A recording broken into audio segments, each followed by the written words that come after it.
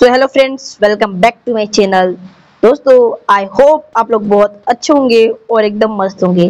दोस्तों, आज हम लोग बहुत ही खतरनाक मिशन पर जाने वाले हैं और बहुत ही खतरनाक आज काम भी करने वाले हैं। तो दोस्तों, यहाँ पर हम लोग सबसे पहले आज हम लोग का रूफीरो का आखिरी दिन या सबसे ताकतवर दिन होगा।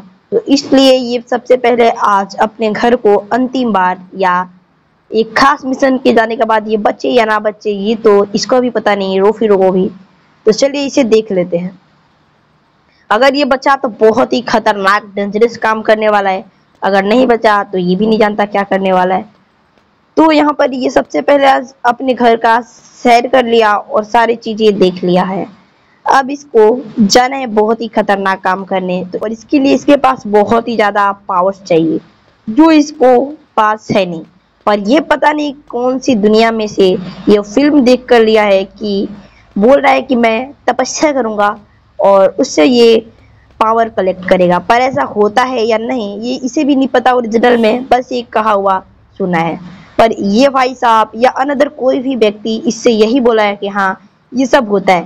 पर इसके लिए ये सब क्या बोले कि ये करने के लिए सबसे तुम्हें यूनिक काम करना पड़ेगा या यूनिक तपस्या करना पड़ेगा। लोग कड़क धूप में तपस्या करते हैं और कड़क धूप से भी ज़्यादा इसमें ये लोग एक पैरों पर खड़ा रहकर करते हैं। और वो फिर, उन सबसे यूनिक, अलग ही काम करने वाला है। वो क्या? वो ये जाकर समुन्द्र के गहरे पानियों में जाकर तपस्या करने वाला है और ये सबको पता है कि कोई भी इंसान पानी के अंदर नहीं टिकता। पर ये रो फिरो क्या कर पाएगा?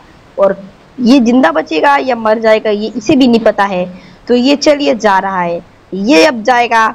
ये सब इसको बोलते हैं कि ये तपस्या एक, अगर ये महादेव का करेगा तो वो जल्दी ही आएँगे। इसलिए पानी के गहराई, अनंत गहराइयों में जा रहा है और ये अनंत गहराइयों से पहले ये बहुत ही दूर जाएगा।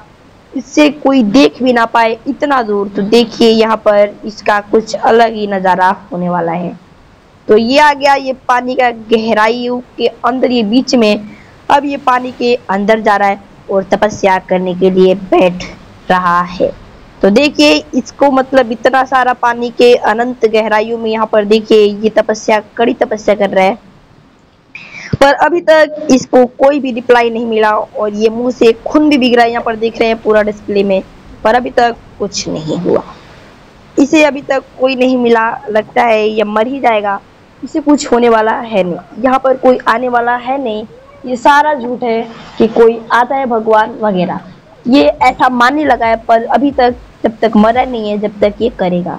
ये क्या ये रू फिर कहाँ आ गया? ये पता नहीं कौन सी यूनिवर्स में आ गया, और ये सारा गैंगस्टर वगैरह के बीच में कहाँ से आ गया? ये तो समुन्दर के अनंत गहराइयों में था, जहाँ से कोई वापस आ ही नहीं सकता। तो ये आखिर आ कहाँ से गया ये रूफी रोड कहाँ आ गया? और मैं तो तपस्या कर रहा था तो वो कहाँ गए तपस्या में जिसका कर रहा था महादेव? मैं यहाँ पर हूँ रो फिरो तुम्हारे में तपस्या से प्रसन्न हुआ। बोलो तुम्हें क्या चाहिए? क्या मैं सच में ये सुन रहा हूँ कि आप यहाँ पर हैं? हाँ रो फिरो तुम ये सच में सुन रहे हो कि मैं यहाँ पर हूँ। तो हे भगवान मुझे इतना शक्ति दो इतना शक्ति दो मैं वो बिग बॉस को थोड़े ही देर में मैं खत्म कर सकूँ। वो पूरे दुनिया को बर्बाद करने में लगा हुआ है। ये लो तुम्हारी शक्तियाँ। लेकिन ये याद रखना कि तुम उसे बिग बॉस को तभी खत्म कर पाओगे जब तुम कोई भी बुराई नहीं की होगा। ठीक है मैं इस बात को ध्यान में रखूँगा। अगर तुमने कोई भी बुराई किया होगा तो तुम्हारा शक्तियाँ वहीं पर खत्म हो जाएगी और तुम भी मारे जाओगे। ये बात याद रखना। धन्यवाद भगवान जी मुझे ये शक्तियाँ देने के लिए।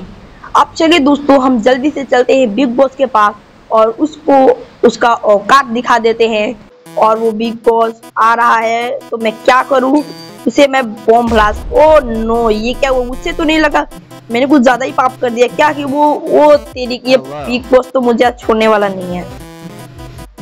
ये क्या मेरी रस्सी की भी पावर चली गई है? उसके चक्कर में पर मैं क्या करूँ? वो मुझे छोड़ेगा नहीं।